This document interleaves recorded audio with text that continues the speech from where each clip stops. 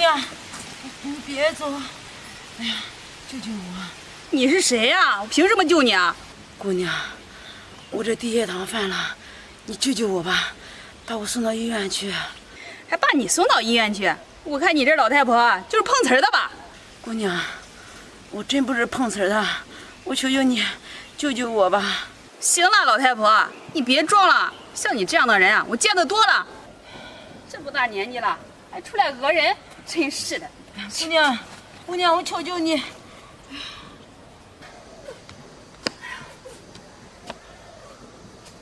哎，这个阿姨怎么倒在那了？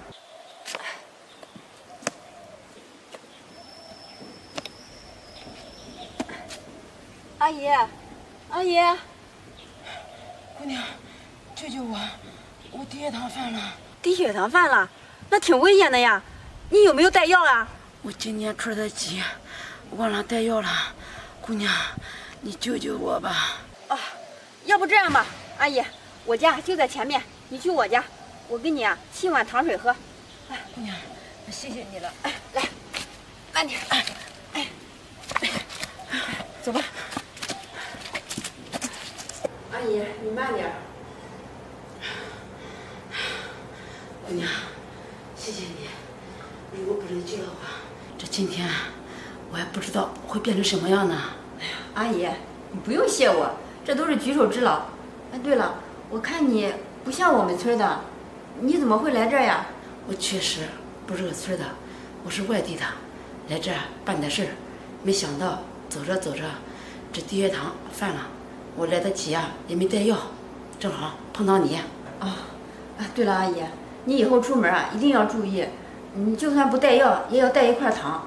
行，我知道了。其实啊，我一直都注意着呢，今天才换了衣服，才把药给忘了。哎，对了，姑娘，这家里就你一个人吗？啊，是，就我一个人。那你的父母呢？啊，是这样的，我生下来，这腿啊就残疾，我父母嫌弃我，就出去打工去了，一直就没回来。我从小啊就跟着我奶奶一起长大的，从小我是跟着我奶奶长大的。这前两年啊，我奶奶也去世了，现在就我一个人了。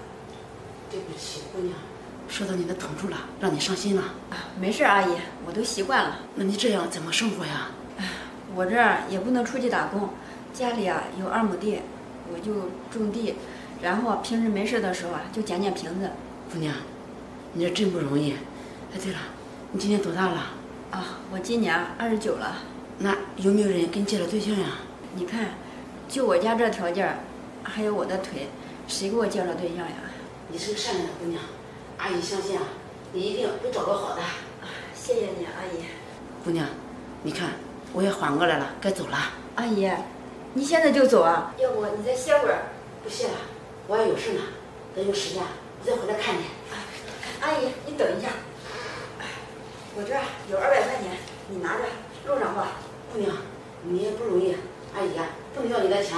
阿姨，你就拿着吧。我看你这穿衣打扮，你也不容易，你就拿着吧。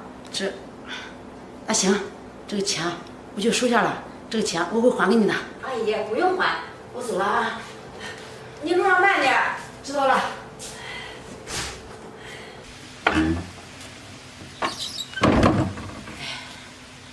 这次出来视察，差点出了大事，幸亏这个姑娘帮了我，还给了我钱，她也不容易，我呀得想办法帮帮她。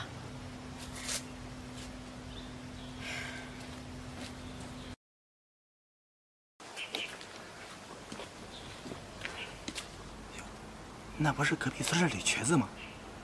有了！哎呦！我说吕瘸子。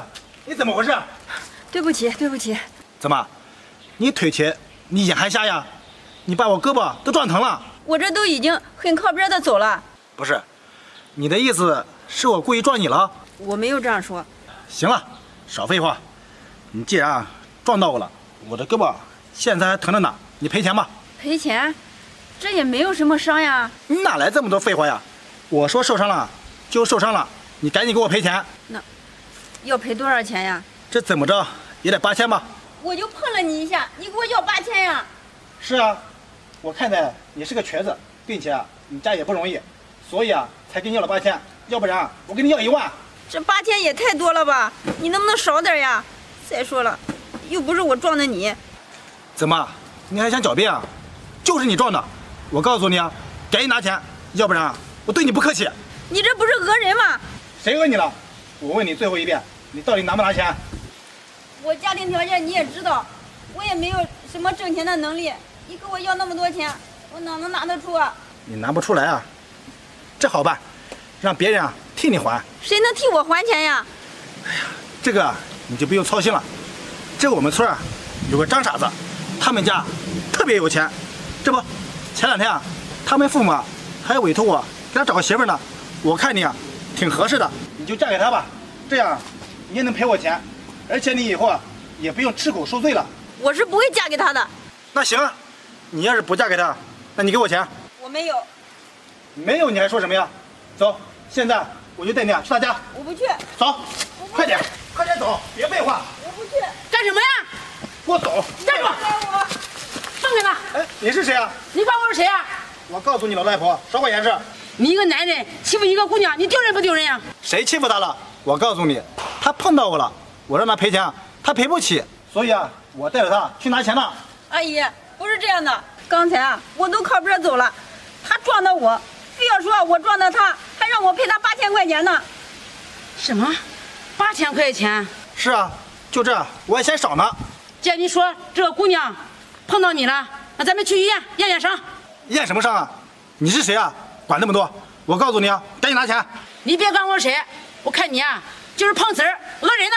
我说老太婆，你给我说话注意点，要不然连你一起收拾。呀，你还威胁我呀？那行，我报警，让警察来处理。你算你狠，你给我等着，总有他不在的时候。